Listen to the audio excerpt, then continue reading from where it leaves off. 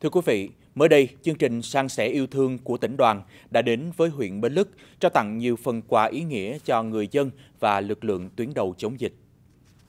Tỉnh đoàn Hội Đi nghiệp Thanh niên Việt Nam tỉnh cùng Mạnh Thường quân đã trao tặng 100 phần quà, mỗi phần 300.000 đồng cho cán bộ hưu trí neo đơn, người dân có hoàn cảnh khó khăn theo nghị quyết số 68 của chính phủ trên địa bàn huyện Bến Lức đoàn cũng đã đến thăm tặng quà cho đội ngũ y bác sĩ, các tình nguyện viên làm nhiệm vụ tại Bệnh viện Giả chiến cơ sở trung đoàn 738. Tại đây, đoàn đã ân cần thăm hỏi sức khỏe và gửi lời tri ân sâu sắc đến các lực lượng làm nhiệm vụ, đồng thời mong muốn các lực lượng tiếp tục khắc phục khó khăn, luôn nêu cao tinh thần trách nhiệm, quyết tâm hoàn thành tốt nhiệm vụ được giao. Dịp này, đoàn đã gửi tặng lực lượng làm nhiệm vụ ở đơn vị nhiều phần quà gồm một số thuốc tây y, dung dịch rửa tay sát khuẩn, đây là hoạt động nằm trong chuỗi các hoạt động của chương trình sang sẻ yêu thương của tỉnh đoàn nhằm phát huy tinh thần sung kích của tuổi trẻ, tham gia các hoạt động tình nguyện vì an sinh xã hội nhằm chung tay hỗ trợ bà con nhân dân và đoàn viên thanh niên khắc phục những khó khăn do thiên tai, dịch bệnh.